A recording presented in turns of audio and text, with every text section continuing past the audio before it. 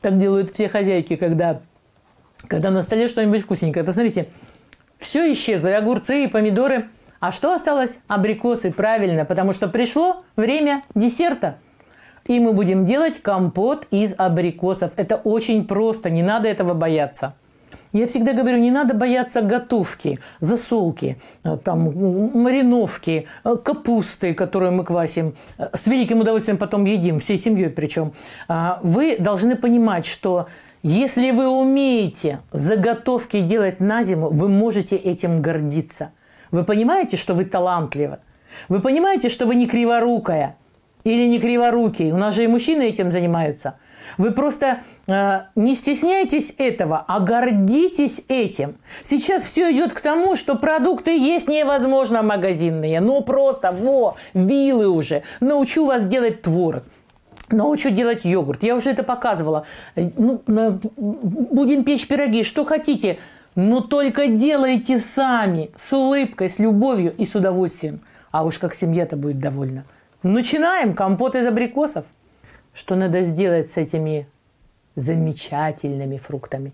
Конечно, их нужно помыть.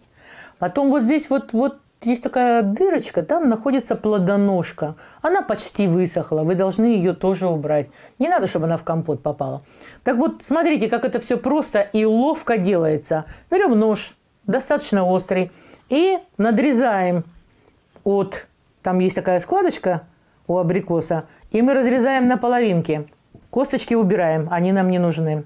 Выбираем абрикосы не то чтобы жесткие совсем, но вот чуть они вот чуть готовы спеть, но при этом они не должны быть кислыми и не должны быть дикими. Дикие абрикосы невкусные. Никогда ни варенье, ни компот вкусным не будет. Вот этот немножко переспел, но это ничего. У него бачок только задумался, занялся, как мы говорим.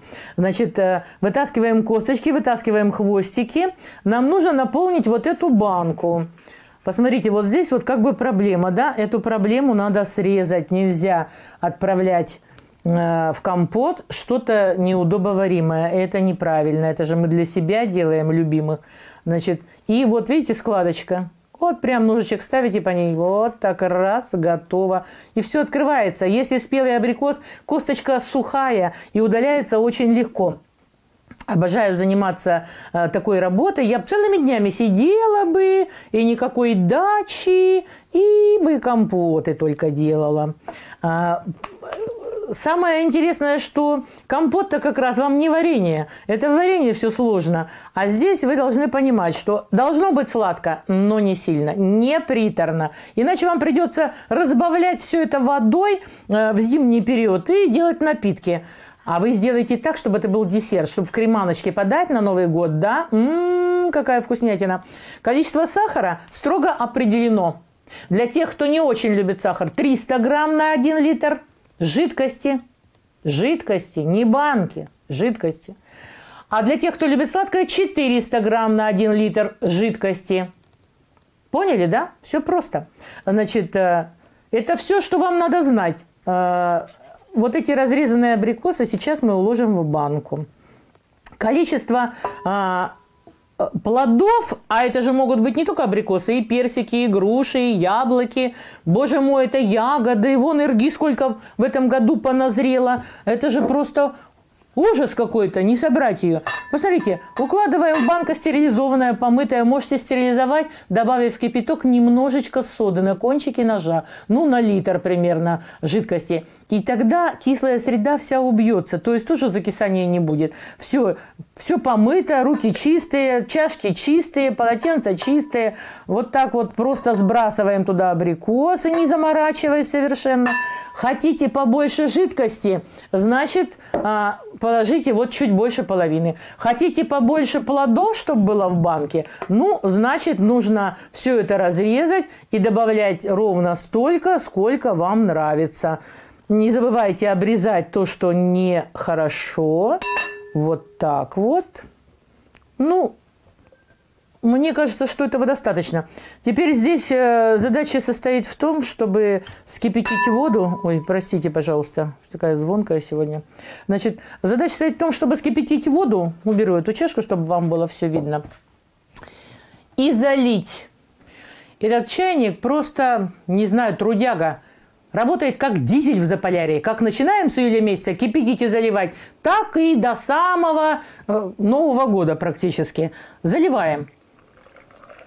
Ну, вы видите, что это кипяток, идет пар, заливаем столько, сколько бы нам было надо. Вот так вот, да? Ой, многовато налила, ну ничего. Значит, залили. И теперь вот чистый кипяток без сахара. И еще не забудьте, лимонная кислота нужна для того, чтобы э, раскрыть вкус фруктов. Как раз немножко лимонной кислоты, неважно какой компот, это всегда будет очень хорошо. Это все должно, литровая банка пускай стоит минут но абрикосы 5-7, чтобы прогрелись они, чтобы это бланширование такое, знаете, неактивное. А если это полуторалитровая, ну тогда минут 12 она должна стоять. Персики стоят подольше, до 15 минут, потому что поплотнее. Груши, естественно, а, до 18 минут.